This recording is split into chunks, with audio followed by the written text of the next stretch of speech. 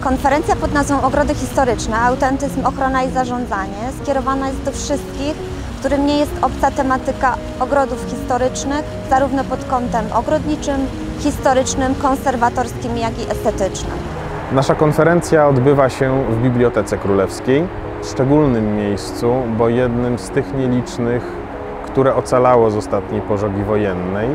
180 uczestników z 11 krajów, 19 prelegentów, zarówno Hiszpania, Portugalia, Wielka Brytania, Dania, jak i oczywiście reprezentanci Polski, e, opowiadali o problematyce związanej z autentyzmem w ogrodach historycznych, jak i również streszczali bieżące utrzymanie w ogrodach.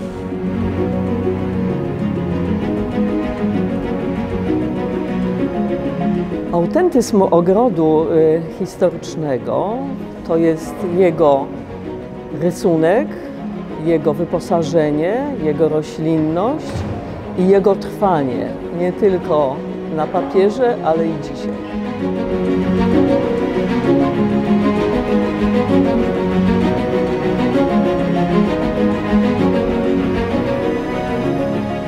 Bardzo chętnie korzystamy z przekazanych nam informacji, aby wykorzystać je w praktyce i umiejętnie dopasować do oczekiwań użytkowników ogrodu.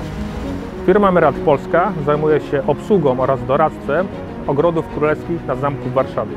Na co dzień zajmujemy się również pielęgnacją i opieką stadionów, boisk oraz pól golfowych. Współpracujemy także z lokalnymi firmami usługowymi pod kątem szkoleń i wymiany doświadczeń. Firma Husqvarna ma również e, przyjemność współpracować z ogrodami Zamku Królewskiego. Cztery nasze kosiarki pracują tutaj w ogrodzie. Jedna z nich kosi trawnik o pochyłości prawie 70%, co do tej pory było e, dosyć trudnym zajęciem dla ogrodników. Nasi goście mieli okazję zwiedzić ekspozycję Zamku Królewskiego w Warszawie oraz odtworzone ogrody, a ponadto dzięki współpracy z naszymi przyjaciółmi z Łazienek Królewskich również Park w Łazienkach. Warto uczestniczyć w tego typu konferencjach. Jest to kompensa wiedzy na temat e, ogólnie założeń historycznych, ogrodów historycznych, parków historycznych.